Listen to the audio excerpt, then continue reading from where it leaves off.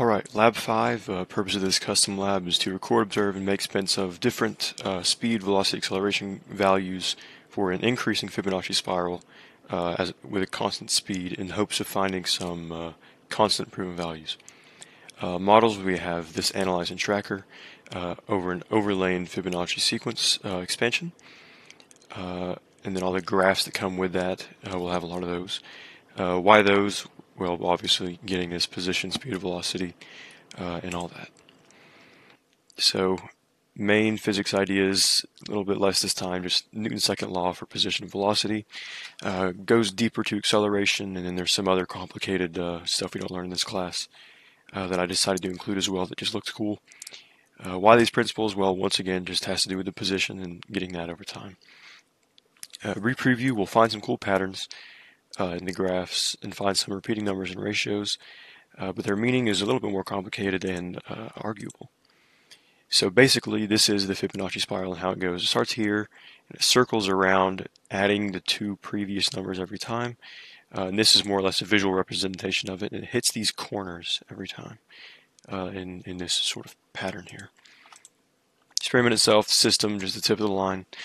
Uh, surroundings, it didn't really matter if there was surroundings or not because the line isn't being affected by anything. Uh, so it's it sort of applies, but not really. Initial conditions, you just have uh, origin at a, let's see, this position here. Here's your origin. Uh, and then initial velocity starts at zero.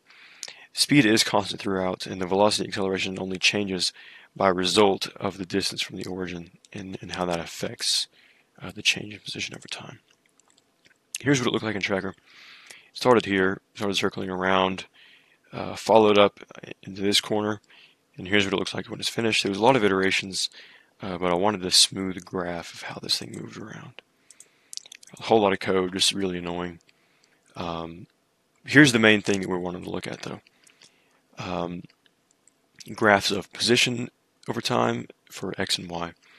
Uh, this is the main focus of what we're going to be talking about here we're going to be looking at the differences in the peak values of the x and the differences in the peak values of the y and what that means. So you can see here, the first peak is at 2, the next peak 5, I mean this isn't 5, but the difference between the peaks is 5. Next peak difference is 13, next peak difference is 34. Now you might think, well that's weird, that's every other value in the Fibonacci sequence, uh, minus the 1 here, the 3 here, and you know, yada yada yada. So now let's look at the y. First peak, negative 1. That's a peak of 1 difference. Next goes to 2, which is 3 difference. Next is 8 difference. Next is 21 difference. Well, you might say, well, these are the missing values from the Fibonacci sequence up here. It goes 1, 2, 3, 4, 1, 2, 3, 5, 8, 13, 20, and 34. Uh, and I'll explain that a little bit. As for the velocity, uh, trying to make any sense of those was a little bit harder. Uh, peak differences in those went from 3 to 8 and then capped at 10. Same thing for the Y, oddly enough. Uh, it, it visually looked like the Fibonacci sequence numbers here, but I think quickly that was just coincidental.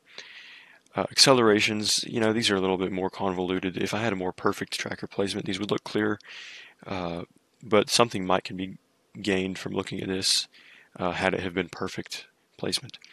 In terms of the angular velocity, you can see this goes down over time uh, as the line travels straighter and straighter. Uh, same thing with the acceleration.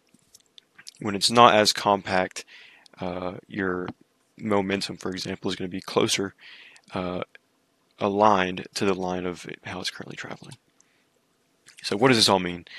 Uh, similarities in terms of physics, we gathered those differences, revealed some interesting values, uh, matching the Fibonacci sequence, and there are certainly other measurements found in those that can uh, prove other numbers related to the sequence like the golden ratio.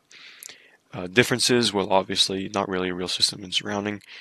Uh, there could be better observable models made. P possible sources of error, uh, imperfection of tracker placement, uh, and that's just typically theoretical only. So what does this mean? Uh, it's not as complicated as you might think. Uh, those corners I was talking about earlier, those corners are negative y extrema, uh, plus x extrema, y extrema, and negative x extrema, going around in a counterclockwise pattern. Applying that code to the linear sequence itself gives you 1, 2, 3, 5, 8, 13, 21, 34. So it's a non-mathematical way of looking at the sequence increasing.